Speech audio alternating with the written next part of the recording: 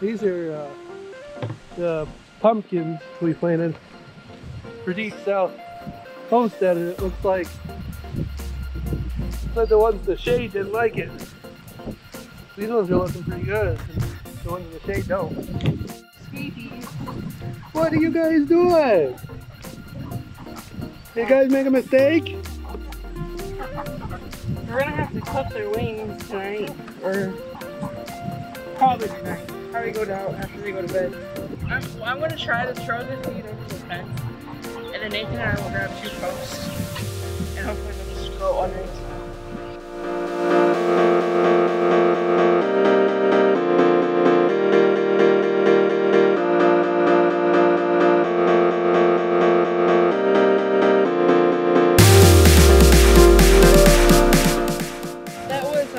Pretty quick. All five of those pullets, uh, before it went pretty willingly. Nathan had a chance to finish one little well, move the block moves the fence so there's not pressure